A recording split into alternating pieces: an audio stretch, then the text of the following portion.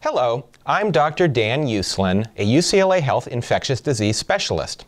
I'm joined by my colleague, Dr. Annabelle de St. Maurice. We are here to talk about COVID 19 or novel coronavirus and address some of your questions. Dr. de St. Maurice, who is most at risk for COVID 19? The CDC says that the immediate health risk to the general public in the United States is low, even though we are identifying more cases, which is expected.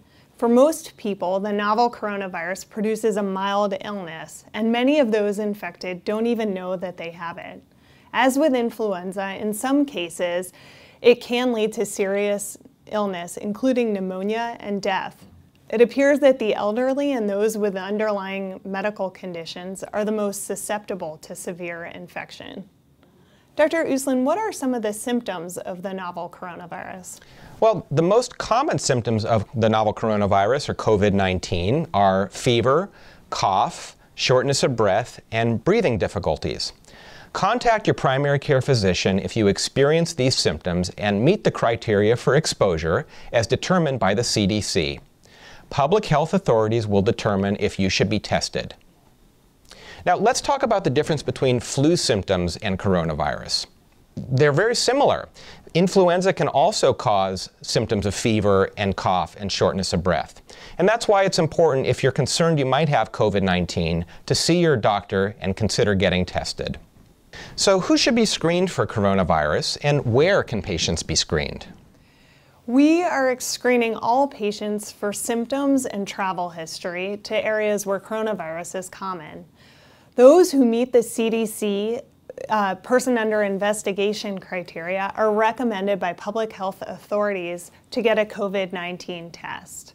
For patients being tested or confirmed with novel coronavirus, we are adhering to rigorous testing criteria recommended by CDC and local public health authorities designed to prevent transmission. Dr. Uslan, what can people do to prevent transmission? Well, public health officials recommend the following steps to prevent the spread of all respiratory viruses, including influenza and COVID 19. First is wash your hands frequently and for at least 20 seconds with soap and water or alcohol based hand sanitizer. Next is to cough into your elbow or a tissue and not your hands. Dispose of the tissue and wash your hands afterwards. Clean and disinfect frequently touched surfaces at home, work, and school using a, uh, a common household disinfectant or a wipe. Avoid touching your eyes, nose, and mouth. Avoid contact with people who are sick. And importantly, if you are sick, stay home and do not travel or report to work. Practice healthy habits. Get plenty of sleep, be physically active, manage your stress, drink plenty of fluids, and eat nutritious foods. Dr. de St. Maurice, do you think people should be wearing a face mask? That's a great question. There is no need to wear a face mask in the general public unless you have symptoms of an airborne infectious disease or if you're a healthcare worker in prolonged close contact with somebody who's contagious. Outside of these circumstances, the U.S. Centers for Disease Control and Prevention do not recommend the use of a face mask by the general public. In part, this is because if the general public is wearing a mask, they may be more inclined to touch their face as they're adjusting the position of the face mask. I see. So that could actually lead to increased transmission because they're touching their face. Precisely. Dr. Uslan, should patients keep their regularly scheduled medical appointments? Oh, yes, absolutely. Patients face no additional risk in our hospitals and clinics.